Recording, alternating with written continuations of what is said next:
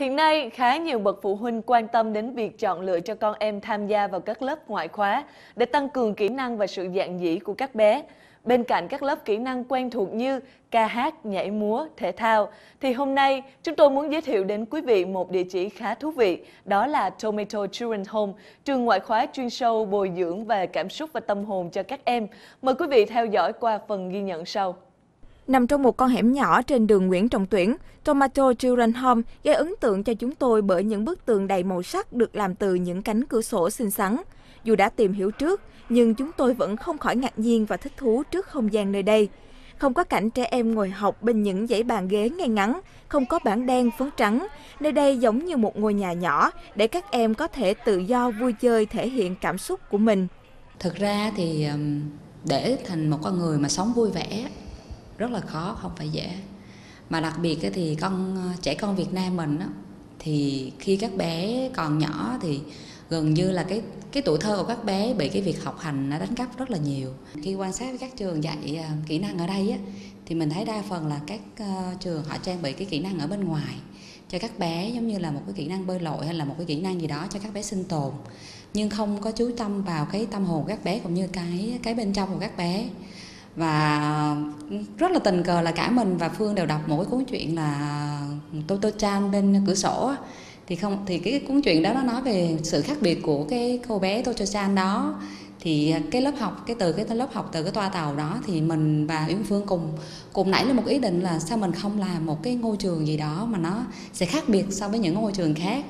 Thành lập vào năm 2013, nơi đây được biết đến như một trường ngoại khóa khác biệt không giống như những lớp học ngoại khóa khác, thường trang bị cho các em nhỏ những kỹ năng bên ngoài như ca hát, nhảy múa hay thể thao. Tại Tomato, các chương trình học lại được xây dựng tập trung vào việc nuôi dưỡng bồi đắp tâm hồn cho các em thông qua cách giao tiếp ứng xử với bạn bè và người lớn.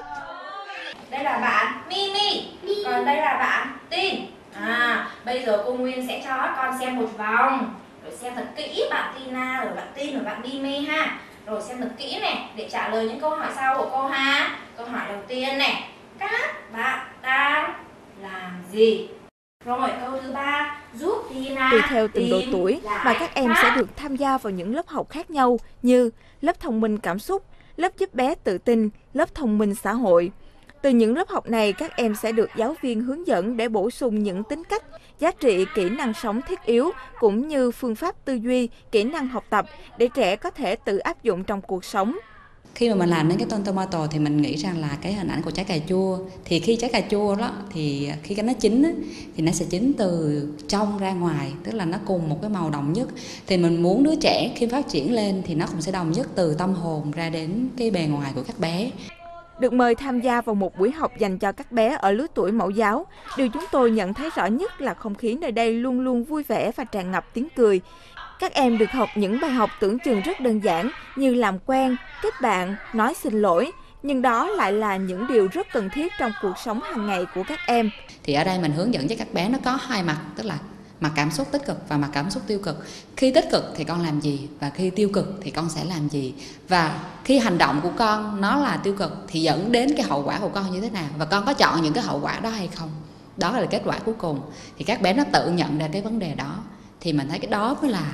mới là cái cuộc sống đích thực của một đứa trẻ sau này. Khi mà lớn lên thì lúc đó các bé nó sẽ nhận ra được mà rằng là mình nên làm thế nào cho đúng như những gì mà mình mong muốn. Trao đổi với chúng tôi, chị Thu Thủy, giám đốc điều hành của Tomato cho biết, với chị, việc học trước hết là phải vui, nên lớp thường xuyên có nhiều phương pháp sinh động như kể chuyện, diễn kịch, trò chơi nhóm để khơi gợi hứng thú cũng như khuyến khích các em tự do thể hiện trong lớp. Bé nhà tôi là trước ừ, khi ừ, tham gia khóa học này thì rất là nhút nhát, à, với đi ra ngoài, với bên ngoài á, ừ, trước đám đông thì bé rất là thiếu tự tin nên bây giờ tôi cho bé học cái khóa học này để cho bé tự tin À, à theo quan niệm giáo dục của tôi thì à, tôi muốn bé phát triển một cách tự lập và tôi hiểu được cái tầm quan trọng của việc kiểm soát cảm xúc ở trẻ nhất là những trẻ mà 3 tuổi thì bé sẽ có những cái à, hơi bướng bỉnh. Nhưng mà sau cái khóa học về cảm xúc thì khi mà về nhà nói chuyện với bé là à con đang tức giận con đang buồn thì cô giáo dạy con như thế nào thì cô giống như là một cái người giúp mẹ trong việc là à, giúp con nhìn thấy được là con cư xử như vậy là sai rồi con sẽ à, có cách cư xử phù hợp hơn con đi học lớp này con có vui không và vì sao con vui Dạ thưa cô là có bạn và cô Quyên với cô Tho. khi mà đi học lớp này thì mấy cô dạy cho con những gì ha Dạ thưa cô là nhận biết cảm xúc của người khác, tìm giải pháp. Áp lực học tập ngày càng căng thẳng khiến cho nhiều trẻ em phải dành phần lớn tuổi thơ để vật lộn cùng bài vở, mà ít có thời gian để khám phá bản thân, khám phá thế giới xung quanh. Chính vì vậy, những xu hướng giáo dục mới như Tomato Children Home có lẽ sẽ góp phần mang đến nhiều lựa chọn hơn cho các bậc phụ huynh trong việc nuôi dạy con em của mình.